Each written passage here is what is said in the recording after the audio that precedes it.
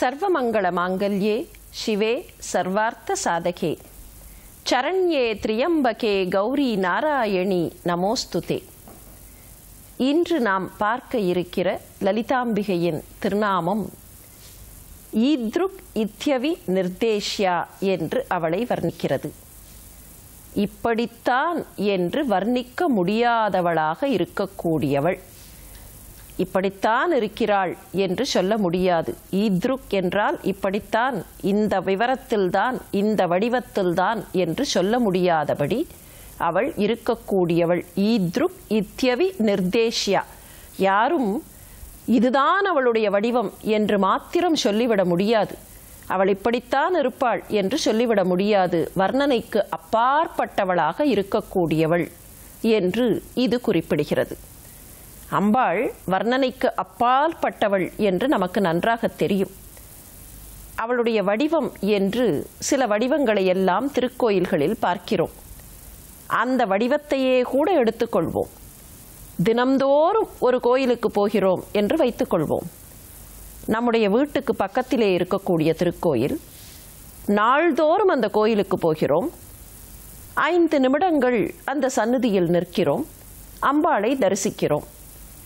அப்படி தரிசித்து விட்டு வந்தால் கூட வீட்டுக்கு வந்தவுடன் யாராவது கேட்டால் பத்து ஆண்டுகளாக நாள்தோறும் அந்த கோயிலுக்கு போகிறாயே அம்பாளை அப்படியே வர்ணித்து விடு பார்க்கலாம் என்று சொன்னால் முழுமையாக நம்மால் வர்ணிக்க முடியுமா?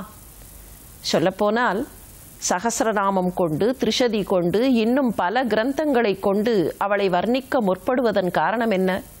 ஆயிரம் திருநாமங்களை கொண்டு வர்ணிக்கிறோமே சகசரநாமத்தில். திரிஷதியில் அவளை முன்னூறு திருநாமங்கள் கொண்டு வர்ணிக்கிறோமே. இவ்வாறு வர்ணிப்பதால் இந்த திருநாமங்களை வைத்து முழுமையாக அவளை வர்ணித்துவிட முடிகிறதா? கடைசியாக வர்ணித்து முடித்து விட்டோம் என்று சொல்ல முடியுமா? நான் அம்பாளை நாள்தோறும் பார்க்கிறேன். அந்த அம்பாள் இப்படித்தான் இருப்பாள் என்று யாராவது கண்ணை மூடிக்கொண்டு சொல்லிவிட முடியுமா? ஏதோ ஒன்று குறைவது போல இருக்கிறதே. என்னால் முழுமையாக சொல்ல முடியவில்லையே. எத்தனை பெயர்களை சொல்லி பார்த்தாலும் என்னால் முழுமையாக சொல்ல முடியவில்லையே என்றுதானே சொல்லுகிறோம். அப்படி இருக்கக்கூடியவள் அம்பாள் என்பது இதற்கான ஒரு பொருள். ஆனால் இதையே இன்னும் சற்று விரிவுபடுத்தி பார்க்கலாம். இந்த தத்துவம் சனாதன தர்மம் தரக்கூடிய தத்துவம் இறைவனை எவ்வாறு வர்ணிக்கிறது? கடவுள் இருக்கிறார். எங்கே இருக்கிறார்? எல்லா இடத்திலேயும் இருக்கிறார். எல்லா இடத்திலும் என்றால் எல்லா பொருட்களிலேயும் அந்த கடவுள் இருக்கிறார். சொல்லப்போனால் எல்லா பொருட்களை கடந்து எல்லா பொருட்களுக்கு உள்ளேயும் அவர் இருக்கிறார். எனவேதான் அவர் கடவுள் என்று அழைக்கப்படுகிறார். சரி இந்த பொருளில் இருக்கிறார். இந்த பொருளில் இருக்கிறார் என்று ஏதோ சில பொருட்களை குறிப்பிட்டு அடையாளம் கண்டுவிட்டு இதுதான் இறைவனா? என்று கேட்டால் சனான தர்மம் இல்லை என்று சொல்லும்.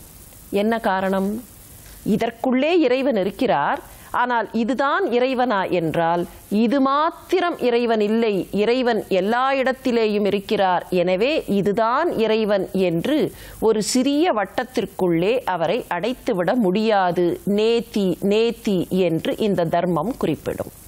அந்த வகையில் இது மாத்திரம்தான் அம்பாள் பராசக்தி என்று அவளை ஒரு சின்ன வடிவத்திற்குள்ளே சின்ன வட்டத்திற்குள்ளே மாத்திரம் கொண்டு வந்து நிறுத்திவிட முடியாது.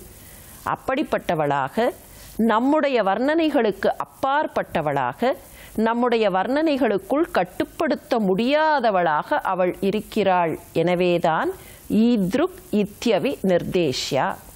இதையே இன்னொரு வகையிலேயும் பார்க்கலாம். அவளை வர்ணிக்க முடியாது என்று சொல்லும்போதே அவள் நமக்காக பல வடிவங்களை எடுக்கிறாள் என்பதையும் புரிந்து கொள்ளலாம்.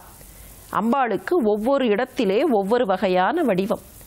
கோபமாக இருக்கும்போது அவள் ரௌத்ரியாக இருக்கிறாள். அந்த கோபம் தீமை செய்யக்கூடிய ஒருவனை அழிக்கக்கூடிய நிலைக்கு மாறும்போது அவளே துர்காதேவியாக காட்சி தருகிறாள். அபிராமிப்பட்டர் பாடும்போது மகிஷன் தலைமேல் என்று பாடினார்.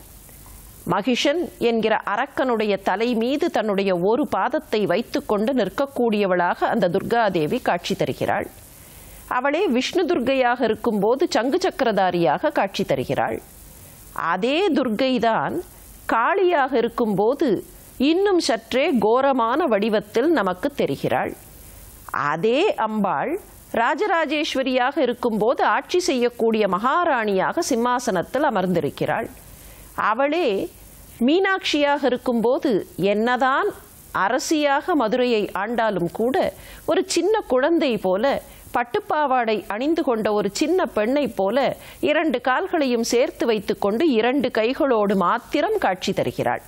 மதுரையில் எழுந்தருளி இருக்கக்கூடிய மீனாட்சி அம்மைக்கு இரண்டு திருக்கரங்கள் தான் ஆனால் அதே பராசக்தியை இன்னும் சில திருத்தலங்களில் தரிசிக்கும் போது நான்கு திருக்கலங்களோடு அவள் காட்சி தருகிறாள். இப்படி ஒவ்வொரு இடத்திலே ஒவ்வொரு வடிவத்திலே அந்த அம்பாள் காட்சி தருகிறாள். இதனால் என்ன புரிந்து கொள்ளுகிறோம்? எல்லா வகையான வர்ணனைகளுக்கும் அப்பாற்பட்டு இருக்கக்கூடிய அவள் நமக்காக நாம் புரிந்து கொள்ள வேண்டும் என்பதற்காக ஒரு சின்ன எல்லைக்குள்ளே கட்டுப்பட்டவளாக வந்து நிற்கிறாள். அவள்தான் எல்லா எல்லைகளையும் கடந்தவள். ஆனாலும் எல்லைகளை கடந்தவள் என்று சொன்னால் சராசரி மனங்களுக்கு புரியாது. கடவுள் எங்கே இருக்கிறார் என்று கேட்டால் எல்லாரும் என்ன சொல்லுவோம்? கடவுள் எல்லா இடத்திலேயும் இருக்கிறார். அறிவு வேண்டுமானால் அப்படி சொல்லும் வார்த்தை வேண்டுமானால் அப்படி சொல்லும். ஆனால் உண்மையிலேயே உள்ளம் அதை உணருமா? எண்ணி பார்ப்போமே. ஓரிடத்தில் நான்கு நாற்காலிகள் போடப்பட்டிருக்கின்றன என்று வைத்துக்கொள்வோம் ஒரு நாற்காலியில் நாம் போய் உட்கார்ந்து கொள்கிறோம். மீதம் இருக்கக்கூடிய மூன்று நாற்காலிகளில் யாரும் இல்லை. யாரோ ஒருவர் நம்மை கேள்வி கேட்கிறார். பக்கத்து நாற்காலியில் யார் இருக்கிறார்கள்? என்று கேட்டால் அறிவு என்ன சொல்ல வேண்டும்? அங்கு இங்கு எனாதபடி எங்கும் நீக்கமர நிறைந்த கடவுள் எல்லா இடத்திலேயும் இருக்கிறார் என்றால் இந்த மூன்று நாற்காலிகளும் ஆள் இல்லாமல் இல்லை. அங்கே கடவுள் இருக்கிறார் என்றுதானே சொல்ல வேண்டும். ஆனால் யாராவது சொல்லுகிறோமா? யாராவது அப்படி எண்ணி பார்க்கிறோமா? மூன்று நாற்காலிகளும் காலியாக இருக்கின்றன என்று சொல்லுகிறோமே என்ன காரணம்? என்னதான் வார்த்தை சொன்னாலும் என்னதான் அறிவு என்று எண்ணினாலும் சராசரி உள்ளம் இறைவன் இறைவி எல்லா இடத்திலேயும் இருப்பதை உணர்ந்து கொள்ளுவதற்கு சற்று தாமதப்படுகிறது. எனவே அந்த நிலையில் இருக்கக்கூடிய இந்த சராசரி மனத்திற்கு புரிய வைக்க வேண்டுமென்றால் அவள் என்ன செய்கிறாள்? சின்ன வடிவத்திற்குள்ளே இறங்கி வருகிறாள். சின்ன வட்டத்திற்குள்ளே தன்னையே கட்டுப்படுத்தி கொண்டு நிற்கிறாள். சில இடங்களில் சின்னஞ்சிறுமியாக காட்சி தருகிறாள். சில இடங்களில் அரசியாக காட்சி தருகிறாள். எப்போது தீமையை அழிக்க வேண்டுமோ அப்போது கையிலே ஆயுதங்களை வைத்துக்கொண்டு காட்சி தருகிறாள். யார் யாருக்கு எப்படியெல்லாம் பார்க்க வேண்டும் என்று ஆசை இருக்கிறதோ அப்படியெல்லாம் காட்சி தருகிறாள். இன்னும் சொல்லப்போனால் மனித வடிவத்திலே அல்லது இறைவியின் திருவடிவம் என்று நாம் சில வடிவங்களை நிர்ணயித்திருக்கிறோமே அந்த வடிவங்களிலே மாத்திரம் கடவுள் காட்சி தர வேண்டும் என்கிற அவசியமில்லை. நாமே எத்தனை முறை சொல்லியிருக்கிறோம் அவரவர்கள் அன்றாட வாழ்க்கையை புரட்டி பார்த்தால் தெரியும் எத்தனை முறை சொல்லியிருக்கிறோம். எப்படி வந்ததுன்னு தெரியல தெய்வம்தான் வந்தது என்று சொல்லுகிறோமா இல்லையா? அடடா தெய்வம் அந்த வடிவத்தில் வந்தது என்று சொல்லுகிறோமே. தெய்வம் யானை வடிவத்தில் வந்தது. தெய்வம்தான் வந்திருக்கணும். அன்றைக்கு காற்று பலமாக வீசியதா? காற்று வடிவத்தில் தெய்வம்தான் வந்திருக்க வேண்டும் என்றெல்லாம் சொல்லுகிறோம் இல்லையா? அவரவர்கள் அனுபவத்தை புரட்டி பார்த்தால் எத்தனை முறை அப்படி சொல்லி இருக்கிறோம் என்று நமக்கு புரியும். எனவே நமக்காக சர்வேஸ்வரியாக இருக்கக்கூடிய அவள் சர்வ வல்லமை பொருந்தியவளாக இருக்கக்கூடிய அவள் நமக்காக வர்ணனைகளையெல்லாம் விட்டுவிட்டு சின்ன கட்டுகளுக்குள் தன்னை கட்டுப்படுத்தி கொண்டு வந்து நிற்கிறாள். அவளை இப்படித்தான் என்று வர்ணிக்க முடியாது. ராஜராஜேஸ்வரி மாத்திரம்தான் அன்னையா? லலிதாம்பிகை மாத்திரம்தான் அந்த அம்பிகையா? மீனாட்சி மாத்திரம்தான் அந்த அம்பிகையா என்றால் இல்லை. அவள்தான் மீனாட்சி அவள்தான் சண்டி அவள்தான் மங்களமாக இருக்கக்கூடிய மங்களா அவளேதான் கண்களை விரித்து நம்மை பார்க்கக்கூடிய விசாலாட்சி. எனவே ஒவ்வொரு சமயத்தில் ஒவ்வொரு குழந்தைக்கு எப்படி தேவையோ அப்படியெல்லாம் தன்னை மாற்றிக்கொண்டு வடிவம் தரக்கூடிய அன்னையாக அவள் இருக்கிறாள். ஒரு குழந்தை தன்னுடைய தாய் தனக்கு எப்படி இருக்க வேண்டும் என்று ஆசைப்படுகிறதோ அதற்கு ஏற்ப தாய் தன்னை மாற்றிக்கொள்வாள். ஒரு தாய்க்கு மூன்று பிள்ளைகள் என்று வைத்துக்கொள்வோம். ஒரு பிள்ளைக்கு அம்மா தன்னிடத்தில் சிரித்தால் பிடிக்கும். இன்னொரு பிள்ளைக்கு அம்மா தனக்கு உணவு ஊட்டினால் பிடிக்கும். இந்த அம்மா என்ன செய்வாள்? எந்த பிள்ளைக்கு சிரித்து விளையாடினால் பிடிக்குமோ அந்த பிள்ளையிடத்தில் சிரித்து விளையாடுவாள். எந்த பிள்ளைக்கு உணவூட்டினால் பிடிக்குமோ அந்த பிள்ளைக்கு உணவூட்டுவாள் அதே போலத்தான் அந்த ஜெகன்மாதா யார் யாருக்கு எப்படி எப்படியெல்லாம் தேவையோ யார் யார் எப்படி எப்படியெல்லாம் ஆசைப்படுகிறார்களோ ஆசைப்படுவது மாத்திரமில்லை. நமக்கே தெரியாமல் நமக்கு எப்படியெல்லாம் காட்சி தர வேண்டுமோ அப்படியெல்லாம் அவள் தன்னை கட்டுப்படுத்தி கொண்டு வந்து இறங்குகிறாள். ஆனால் அவளை இப்படித்தான் என்று வர்ணிக்க முடியாது. அந்த வர்ணனைகளுக்கு அப்பாற்பட்டும் அவள் நிற்கிறாள். ஈத்ருக் இத்தியவி நிர்தேஷியாவாக இருக்கக்கூடியவள்.